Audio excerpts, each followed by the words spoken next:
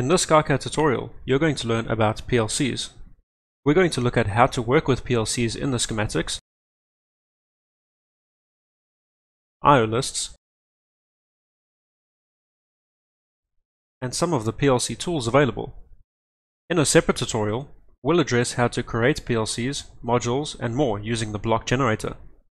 Watching this tutorial and the block generator tutorial will fully equip you to do anything you need to do with PLCs in SkyCAD. So let's get started. In the symbol library, I have only a few PLC symbols, but we can make as many as we want using the block generator, covered in another tutorial. Let's insert a PLC from the library. I've chosen a standalone PLC with embedded I.O., a Micrologix 800. At the top of the symbol, we have some basic information, such as manufacturer and part number. Here we have the power terminals, These are the inputs. And these are the outputs. As with all objects in SkyCAD, we can double-click to explore its properties. We can show the PLC in the tree view by selecting the project, clicking on the Show tab, and selecting PLCs. By doing this, we have access to many PLC tools, such as viewing I.O. lists, modules, specific I.O., and more.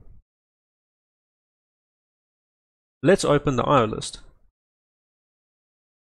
This is the I.O. list for the PLC we inserted onto our schematics. We can add descriptions to our I.O.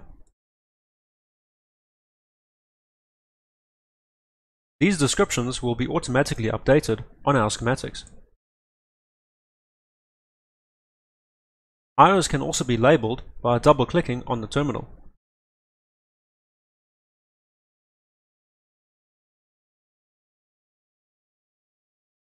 The IO list will automatically be updated. To ease toggling from IO to schematics, we can use the Navigate feature. Select an IO and click Navigate. If we wire a component to the PLC, it will also be shown in the IO list. Let's connect a push button to an input.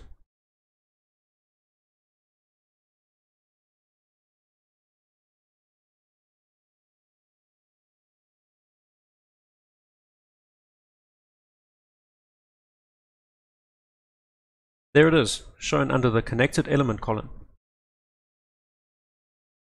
Terminals can also be moved around if you want more or less space by clicking and dragging. As I mentioned before, this is a standalone PLC, but it does not have to be limited to only one symbol. We can split this PLC over multiple symbols if we want to. For example, here are the power terminals, and here are the I.O. terminals. It's the same PLC unit, just split over multiple symbols. We can split PLCs over as many symbols as we want. Just be sure to link the symbols together to specify that these symbols are in fact the same component. Notice that the symbols have been numbered and cross-referenced to each other. This is especially handy if they were on different pages in your project. Let's add a digital output module.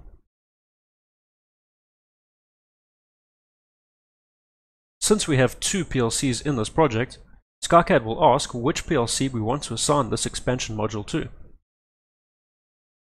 I'll choose PLC 1.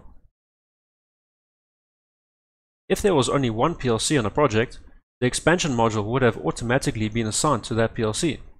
We wouldn't have had to select it from a pop-up window.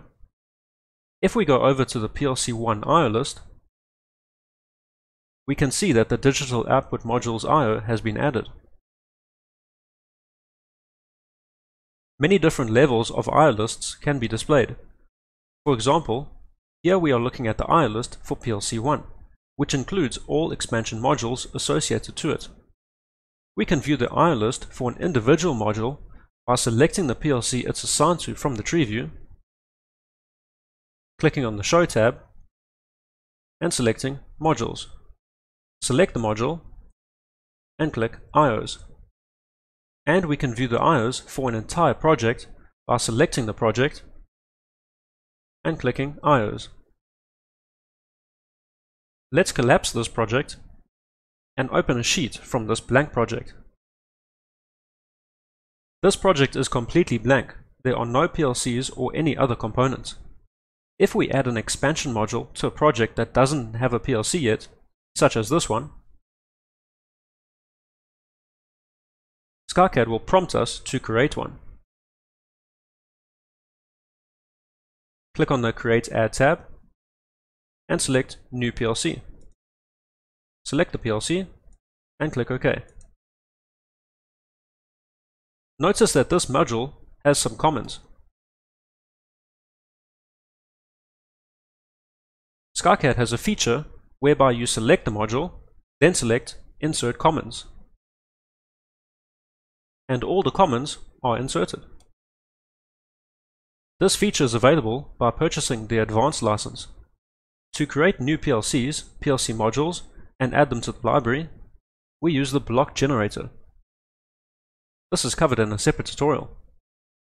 SkyCAD also has a tool which allows us to import an IO list from an Excel spreadsheet and have that IO list generate itself onto the schematics. This time-saving feature comes with the purchase of the advanced license and is covered in more detail in a separate tutorial.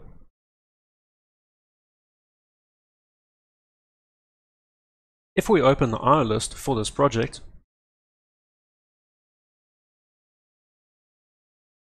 notice that the IO we imported was added to the IO list.